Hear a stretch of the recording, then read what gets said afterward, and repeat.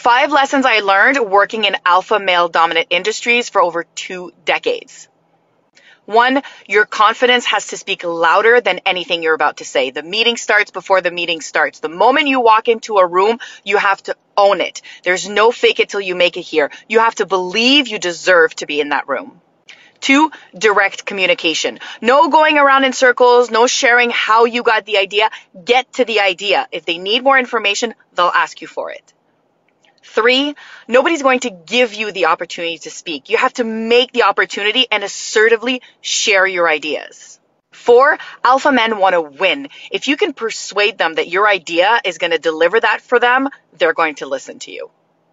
And lastly, you have to know how to read nonverbal cues. Alpha men may not speak a lot of words, but their body language is going to scream at you. And if you know how to read it and understand it, you'll win.